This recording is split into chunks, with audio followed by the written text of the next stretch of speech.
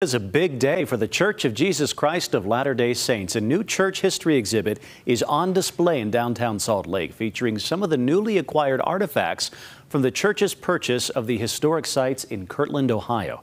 And today, we're seeing new video inside that newly acquired Kirtland Temple. The church's first public tours of the temple began just this morning. And we do have team coverage for you. Annika Johns is in Salt Lake live at the Church History Museum downtown. And our Sarah Murphy is in Kirtland, Ohio for us, taking the tours and meeting everyone involved there, bringing us a first look inside that temple. Nearly 200 people from Ohio to Ghana are gathering in Ohio today for the reopening of the Kirtland Temple. It's back open for the first time in nearly three weeks since the Church of Jesus Christ of Latter-day Saints bought it from the community of Christ. Sarah Murphy in Kirtland now with the story. Hey, Sarah. I'm here on the steps of the Kirtland Temple. Now, some of the final tour groups of the day are inside right now. Many of them tell me they're using their spring breaks, their vacation time to be here for the reopening. We got a first-hand look inside the temple this morning before the tour started.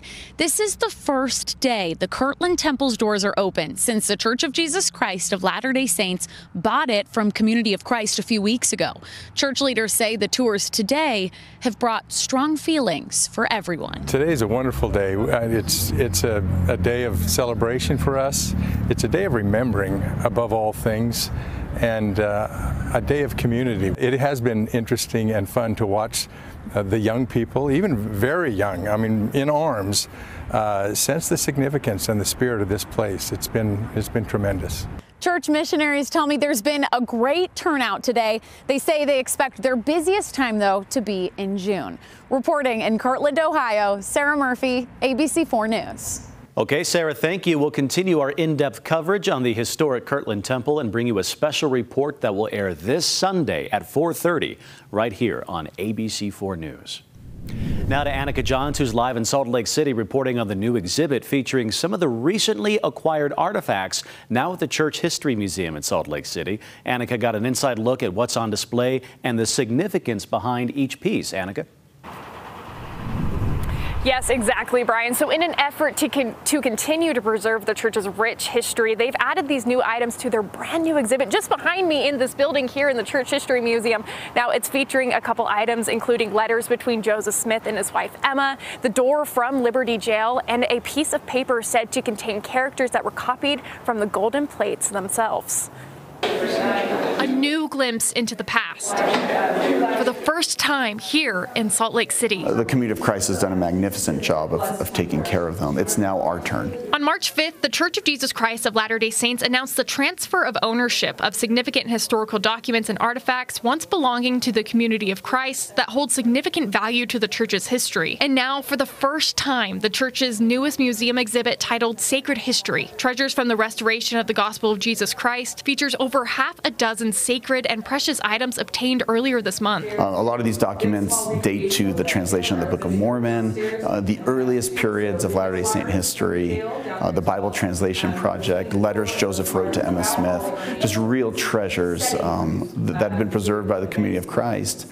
And it's now our task as a church to preserve and share those documents. Items on display include portraits of Joseph and Emma Smith painted during their lifetime that hung in Emma's homes throughout her life. Every portrait you've seen of Joseph and Emma have been um, based on these early portraits in some way. Several letters between the couple. For instance, you have this letter where Joseph's essentially saying, hey, I miss you, I love you, please write me more. And the response is, hey, I miss you and I love you.